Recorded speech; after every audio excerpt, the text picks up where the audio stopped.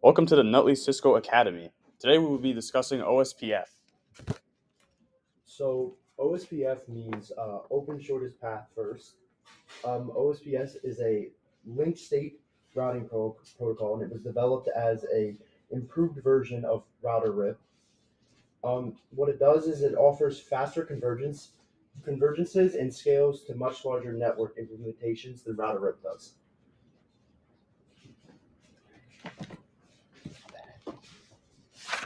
Okay, so some applications of OSPF would be if you have a large enterprise and you need to network that, um, because it's good for high traffic environments like office buildings, and it is also an open in- industry standard. However, with its benefits, there are a few disadvantages of OSPF. It requires extra CPU processing to run the SPF algorithm. It consumes more memory than other routing protocols, and it, uh, it requires more RAM to store topology but and uh, and also the ease of use is you know it's harder to use it because it's more complex uh, when setting it up, so it's harder to tr- uh, troubleshoot. So OS, OSPF was um, OSPF messages are used to create and manage three OSPF databases. These databases are uh, um, what is going on with this? Adjacency database, linked state database, and forwarding database. Adjacency database uh, lists all neighbor neighborhood routers to which a router has established a bi bidirectional communication, um, and it can be used uh, and can be viewed using the sh- show um, IP OSPF neighborhood command. Link state uh, database. It lists information about all the routers in the network. Um, and all routers within an area have identical um, LSBD. And forwarding database lists all routes generated when an algorithm is run on the link state database. All right, so to maintain routing information, uh, OSPF routers complete a generic link state routing process. Uh, the following the following are the link state routing steps that are completed by the router. Uh, establish neighbor adjacencies, exchange link state advertisements, build a link state database, execute the SPF algorithm, and uh, that creates the SPF tree, and then choose the best route. Uh, to make OSPF more efficient and stay uh, scalable, OSPF supports hierarchical routing using areas. An OSPF area is a group of routers that share the same link state information in their LSDBs. OSPF can be implemented in one of two ways as follows. Single area OSPF, all routers are in one area, best practices to use area 0, and multi-area OSPF, OSPF. Is implemented using multiple areas in a hierarchical fashion. All areas must connect to the backbone area, which is area 0, and routers inc- interconnecting the areas are referred to as area border routers. OSPF v3 is the OSPF v2 equivalent for exchanging IPv6 prefixes. Recalled on IPv6, the network address is referred to as the prefix and the subnet mask is called the prefix length. Similar to its IPv4 counterpart, OSPF v3 exchanges routing information to populate the IPv6 routing table with remote prefixes. OSPF v2 runs over the IPv4 network layer, communicating with other OSPF I- I- IPv4 peers and advertising only IPv4 routes. OSPF v3 has the same functionality as OSPF version 2, but uses IPv6 as network layer transport, communicating with OSPF v3 peers and advertising IPv6 routes. OSPF v3 also uses the SPF algorithm and as a computation engine to determine the best, best paths throughout the routing, routing, routing domain.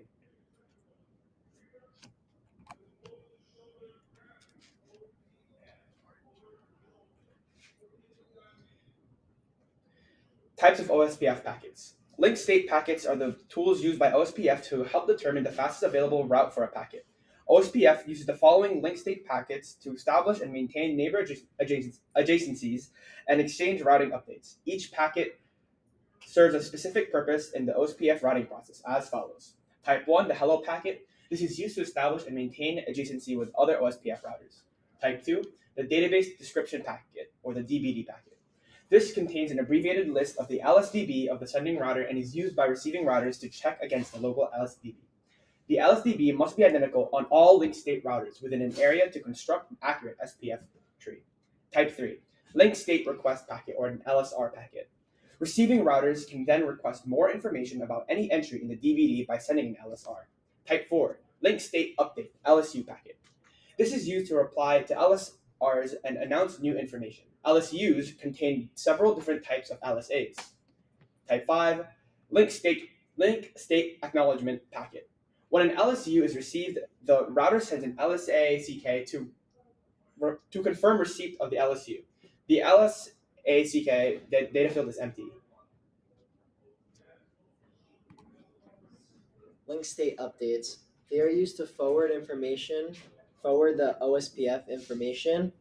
A Type 3 LSR packet is used by the receiving routers to request more information about the entry in the DBD.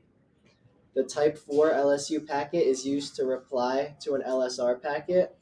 And then a Type 5 packet is just like a receipt to acknowledge that the Type 4 received it.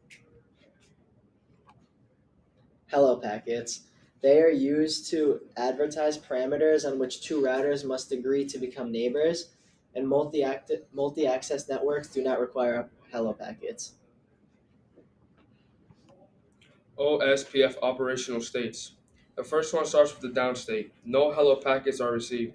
The router sends hello packets. And the init state. Hello packets are received from the neighbor. They contain the router ID of the sending router. The two-way state in, the, in this state, the communication between the two routers is bidirectional. And in the exchange state, routers exchange DBD packets.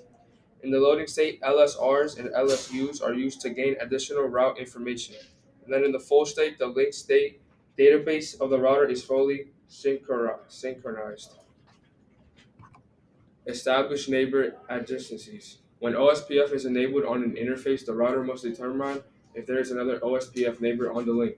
To accomplish this, the router sends a hello packet that contains its router ID at all OSP, OSPF enabled interfaces. The hello packet is sent to the reserved all OSPF routers IPv4 multicast address 224.0.0.5. Only OSPF v2 routers will process these packets. Syn- synchronizing OSPF databases. After the two way state, routers transition to database synchronization states, while the hello packet was used to establish neighborhood adjacencies. The other four types of OSPF packets are used during the process, process of exchanging and synchronizing LSDBSs.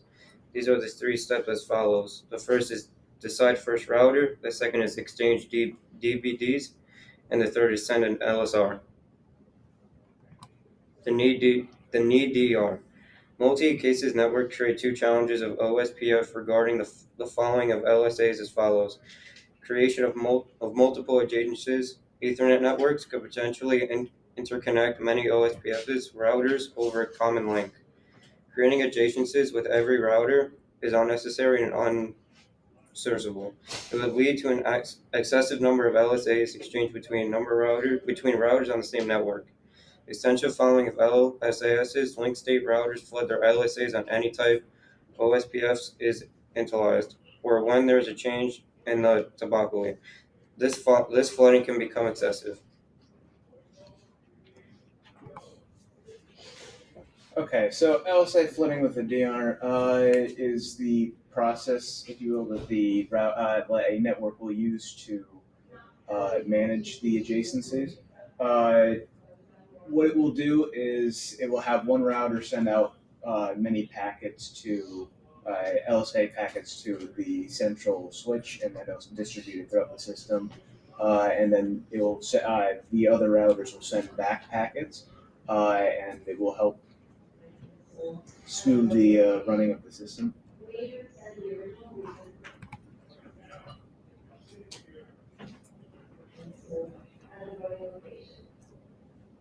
This, uh, yeah. So this, this, this slide covers the same topic basically. Um,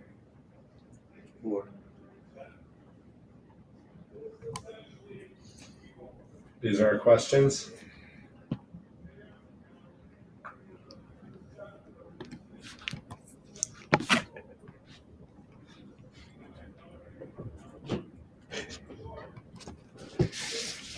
If you like this video, please like and subscribe.